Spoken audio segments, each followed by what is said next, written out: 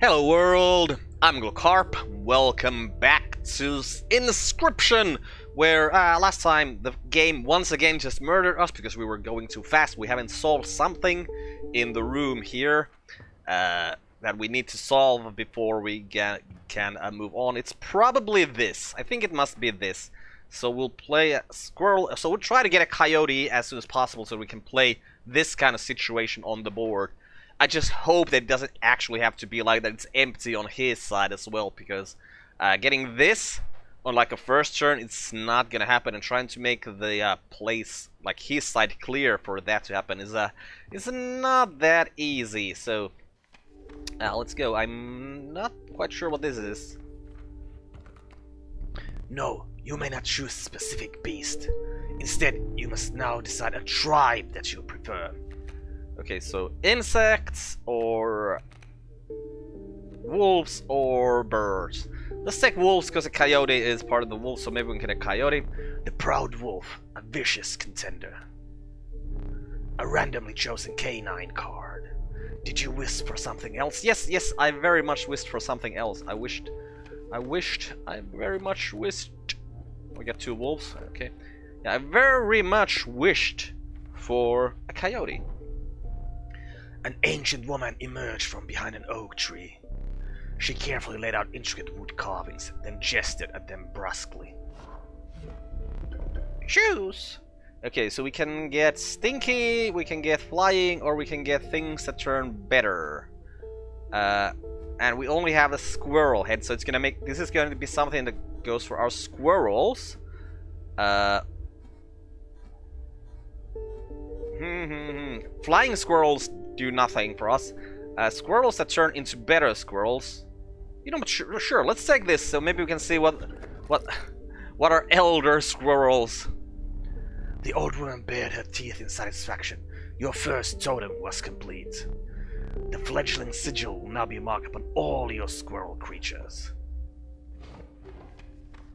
Okay, well, let's immediately go see what we can do with our squirrels against your Waterborne canines. Ah, oh, that's bad. That's actually something that might be a very quick loss. Because we cannot attack them. Uh, so what we need to do is we need to get damage in quickly. So we're probably gonna put the wolf down. Yeah, the wolf down. That's what we're gonna do. So we put the squirrel in. We're gonna take the squirrel from the bottle. Uh, we're gonna take another squirrel, and then we're gonna, uh, no, not the bullfrog, the wolf. We're gonna put it actually in here. So now we're doing 3 damage. Uh, next turn we're not taking any damage. This isn't dying and we're dealing 3 damage because this is waterborne now. Uh, we're not gonna be seeing it at all. And the wolf is just gonna win this fight for us. Okay, nice. Nice and simple. Didn't see what the elder squirrels would be like, but... Oh wow, we're getting another totem, like, a little while. Oh, you didn't have anything to say about types. Well, we're gonna see if we can... No coyote for us. Uh, da -da. So there's another one of those things. Okay, and we get more totem things. The bones of the ancient woman creaked and groaned as she approached. With gently shaking hands, she placed her offerings before you. Okay, so we could get this so our moose creatures, elks, reindeers, whatever, could be uh, some things that grow stronger, or we could make our squirrels be deadly or moles. Honestly, I'm gonna take the deadly thing just in case we find another head as well. But uh, we're gonna keep the squirrels as growing squirrels because we, I mean, they don't have any power, so they can't be deadly. The old woman collected her pieces and snuffed off into the darkness.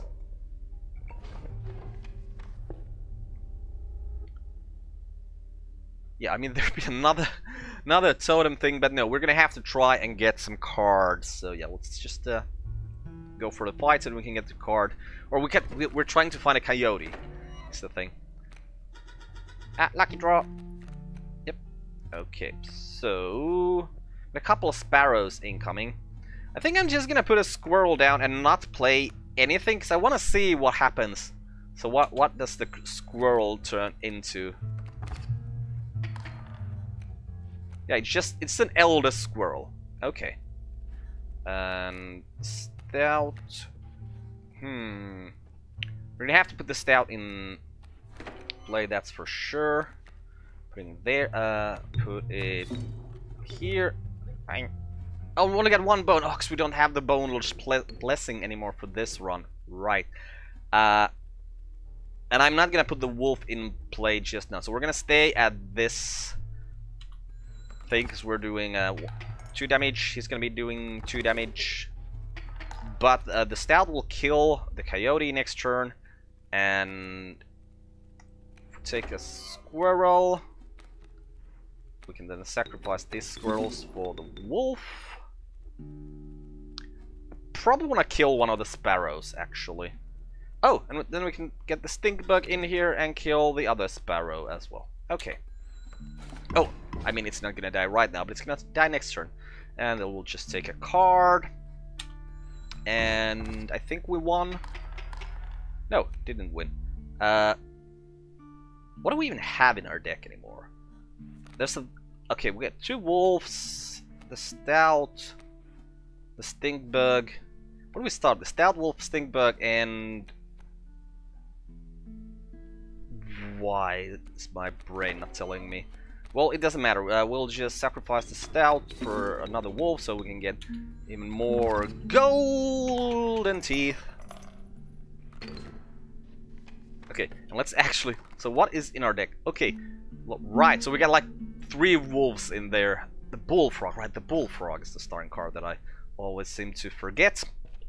Okay, come on, come on.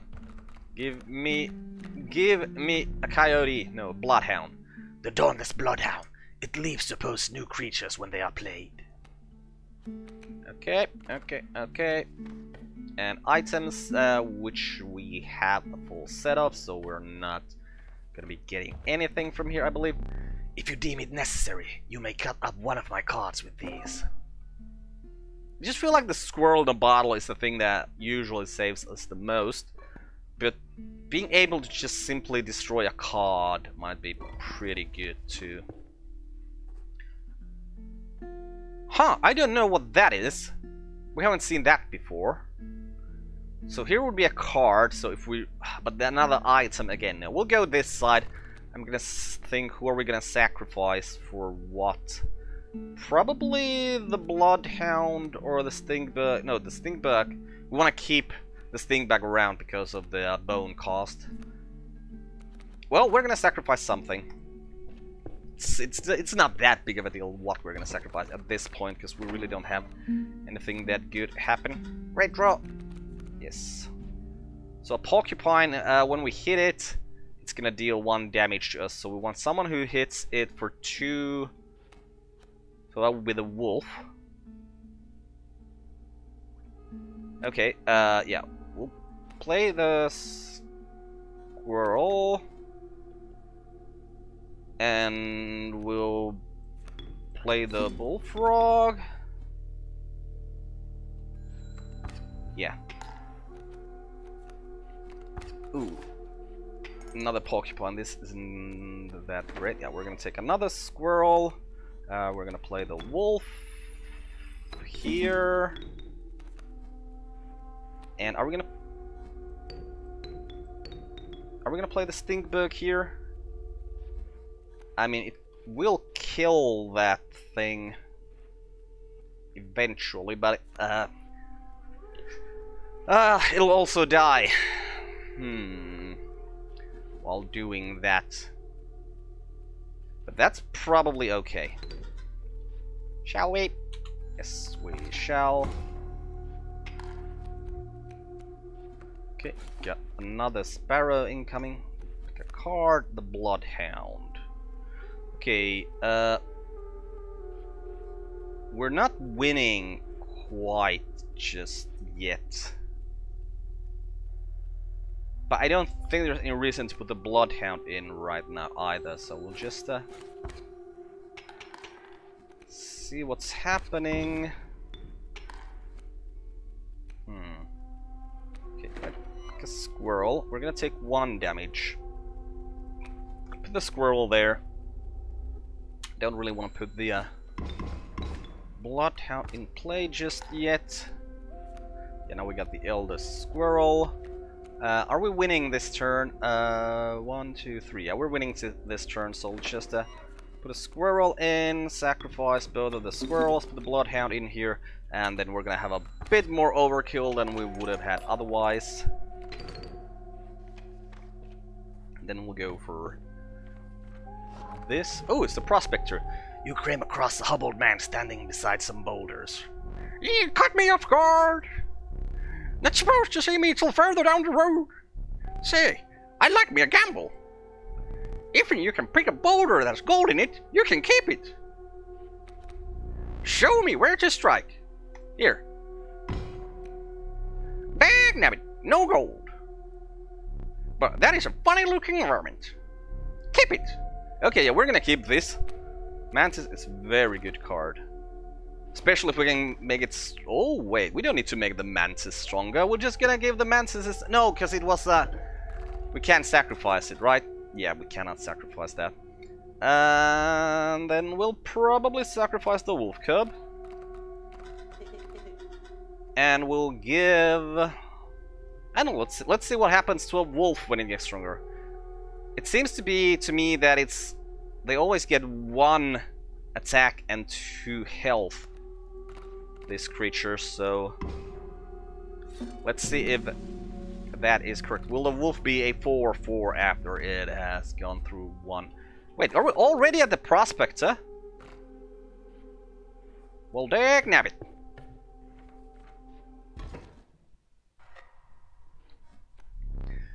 That smoke, it is great hmm. indeed. Oh, it's actually got like an attack and a defense value now. Okay. That's what the point about the greater smoke. A chill mist closed in around you. You were not alone. A figure emerged from the fog. Stand in the way of me, gold! Be darned! Easy, boss. Just pop that mule. Yeah, yeah, yeah, yeah, yeah. We're gonna pop that mule. So, I'm actually just gonna put a squirrel down. A Coyote. Yeah, the, we'll put the greater smoke down as well. It will not kill the coyote, but... Uh, I mean, the coyote will not kill it, it will kill the coyote, so that's a good for us. Uh, Okay, yeah, yeah, I was thinking like, what are we gonna do here? Uh, because of the fact that there is the overkill damage, we are going to put the wolf in play. Uh, so it, it's gonna kill both of these coyotes, and then we can see what it turns into if it's if it's plus one and plus two, like it seems to be for creatures. Yeah, it's plus one, plus two. Okay. Uh, gonna pick a card. Okay, the Mantis. Yeah, let's put the Mantis in play now. We're gonna lose this Mantis, which is unfortunate. Oh, you already killed it. Uh, I, whoa! Mumule! And her pack! Yeah, at least we can see what the... Okay, so it turns into the Mantis God, which, uh, has uh, trifurcated strikes, so it strikes here, here, and here. So that's actually three. So yeah, we're winning here right now. So let's just pick a squirrel at this point. Uh, what is this? Bell ringer. Uh, represented by this. Yeah, can't read what that says. But it doesn't matter, because uh, we're just going to uh, win the first battle here. Unfortunately, we're going to lose two of our biggest cards here as well. There's gold in them cards!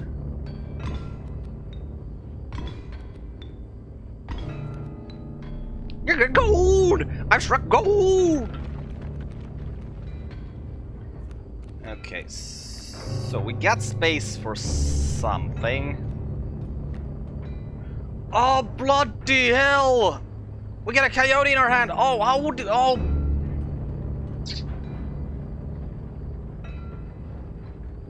There's... Oh, man! I mean, we could put the some... We could, like, put something in like the stout or uh, the uh, river otter or the coyote, but we need to put the coyote, just coyote here and squirrel here, right? Did I already take a card? Okay, let me take a squirrel. And this, so this jumps, it's placed up when it's placed. Okay, so okay, okay, okay, okay, okay, okay, okay, okay. Uh, so we're just gonna let get him let that thing get us. Uh, and we got a couple squirrels, so we're pretty good situation. So if I put squirrel in here now, this guy's gonna jump here. He's gonna eat the squirrel. But nothing's gonna eat these gold nuggets. Okay, let's just try to win then. Uh, right.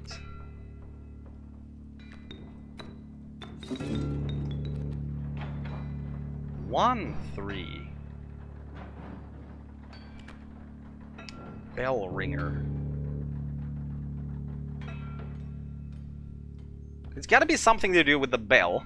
Clearly, because it's called the bell ringer. Oh, it's the bell ringer! That's what it was called, right? Bell ringer. Yeah, so probably should have put it here. It probably would have been stronger here. Ugh. Okay, and the coyote We'll put... Right, the Bloodhound does that. Well, uh, we're gonna have to let the coyote attack it. Okay, so the adder is going to now destroy that. And we have we have a squirrel there. Uh, let's grab another squirrel.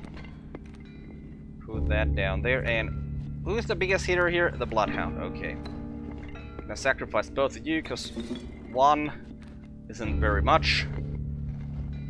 And we could put in an otter or a stealth as well. Let's... Right, right.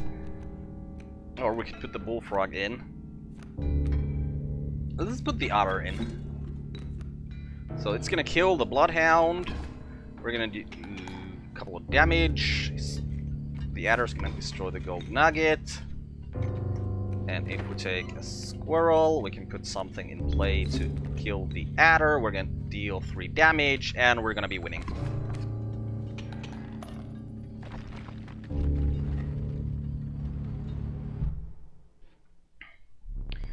Your lives are restored.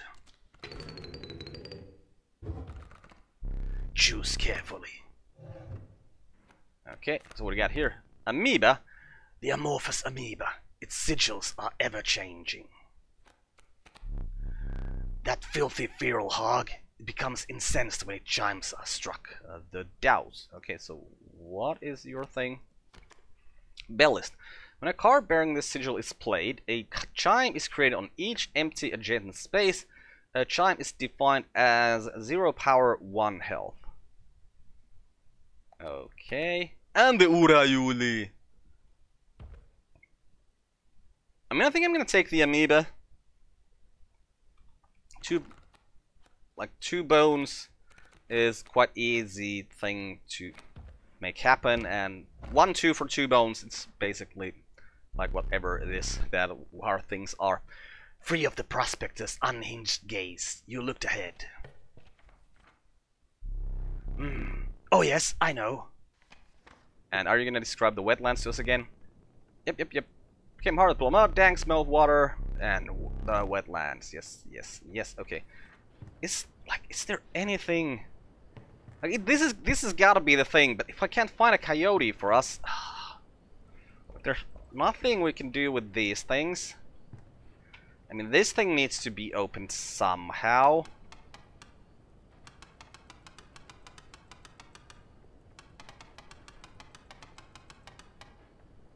I mean...